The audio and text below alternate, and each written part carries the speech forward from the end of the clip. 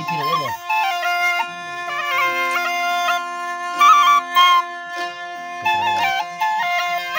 अदाई दस्तने फरमाइश खास कर मिलिक ताज मानिंद फरमाइश है कि